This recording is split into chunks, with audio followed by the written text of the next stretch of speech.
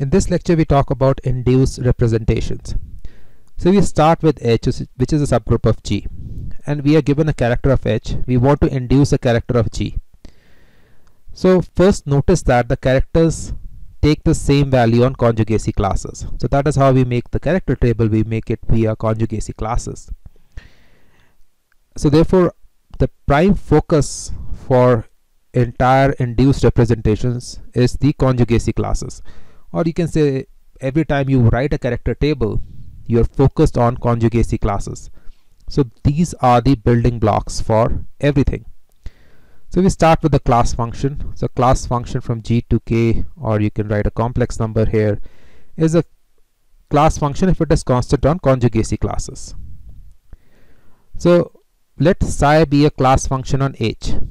So we will define a class function on g. So we will induce a class function from psi to g so which you will write it like this induce gh psi of g. Now there is an obvious way to extend functions. So you are given say a set s1 which lies within set s. So we have seen in our very beginning study of functions in math that if you're given a function on s1 you can extend it to a function of s. So it takes the same value as on s1 but on s anything extra it takes value 0 so this is, you're extending by 0 that's what we do here. So you start with a class function. It takes a value 0 if it is outside h. And you write it as this math ring of y. But obviously we don't want to consider this. We want to consider conjugacy classes because characters are constant in conjugacy classes. So you make this into conjugacy classes like this. X inverse gx and then you have to sum it over all x in g. Because you're considering elements over all the uh, group G. You're inducing to G. So this much is clear. We have done absolutely nothing. We have just extended by 0 and thinking about conjugacy classes. The only thing is that we are dividing by this order of H here. So this will make sense as soon as we uh, see the next lemma. So now the first thing you need to notice uh, is that this induced function is actually a class function. Now that is obvious because you know you start with a class function and then you're writing induced which is also a class function. So nothing much has been done. So this is just obvious from the definition. So this is a class function. So not we now what we are going to prove is that this is becomes a character. If this is a character then this becomes a character. So right now we are showing that this is a class function this is a class function. So obviously characters are class functions because they are constant on conjugacy classes. We got we want to make sure that this class function becomes a character so moving on to the first lemma. So you say okay let us check this on 1 if you put a 1 here you do the formula obviously it becomes x inverse 1x which becomes uh, this 1 here. We are summing it over all elements of g. So this 1 is common in both g and h. So it's as good as here. So you write psi of 1 because it obviously identity lies also in h. But you are summing it over all elements of g. So you get order of g here like this. So obviously if you were inducing from g this will become g over g and this will just give you psi of 1 so you're inducing a class function from g to g for psi of 1 should give you psi of 1 and that is precisely why we are dividing by order of h here. Because if you replace h with g this should just give you g over g psi of 1 so now this makes sense. So now we want to prove this major corollary. If psi is a character of h then this induced class function becomes a character of G. So to prove this we need Frobenius reciprocity. So you start with psi a class function of H and phi a class function of G. Then you can form an inner product like this but inner product is over H you see. So it's a restriction of phi. So you have G you restrict it to phi and this psi is in H. So this is everything here is in H. Here you're taking phi which is a class function of G and then you are inducing this psi to g.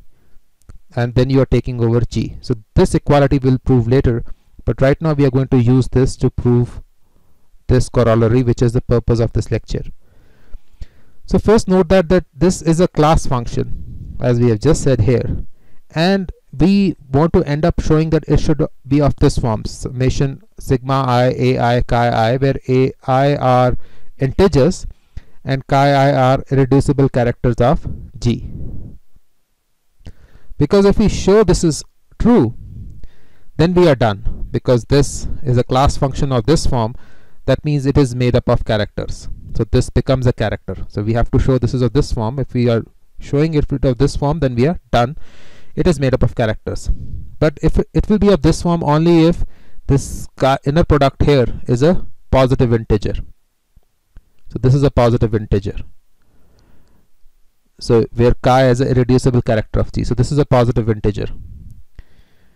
Now um, if chi is a irreducible character of uh, g and you're restricting it so this inner product is on h and this psi we are saying is a character of h then you're taking uh, inner product of two characters. If you take inner product of two characters you will always get an integer so and this integer has to be positive. But these two are equal. So this equality follows from here. So we are done. So what we wanted to show is that this is this. This was to show this we know and this equality is from Frobenius reciprocity. But this equals to this this equals to this so therefore this is also a positive integer and we are done so now we come to the proof of Frobenius reciprocity. So this is nothing but adjunction as you can see if you think in terms of functors. So let us start with this side. So this is over g. So you're just applying the formula here.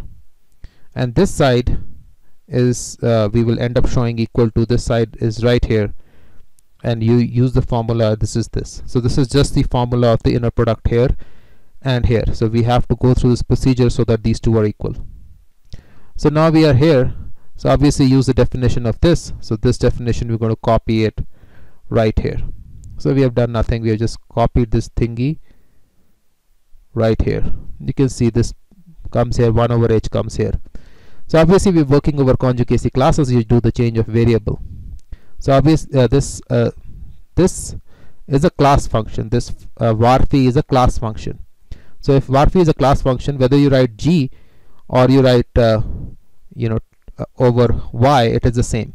Because uh, it is a class function it doesn't change with conjugacy. So you can replace this g with y because these two are the same. Same conjugacy class. You can see something of this form. So varphi you can think of something like this. So this becomes this because varphi is a class function. Here we are just replacing the variable and now instead of g we are saying use y. So we have this. So now you factor over x. So factor over x and x is not part of this but it goes over all the elements of the group. So you get this factor of g. So you get a factor of g which cancels with this g. So this factor of g will cancel with this g. So you are just left with this h comes here this entire expression comes here and you have gotten rid of this and x. So this and this you have gotten rid of. And uh, that is it. So the once you are here now you remember the definition. You just extended it by 0 so the non-zero contributions are when y is in h. So this just becomes this. Instead of y and g you have y and h and that is the end of the story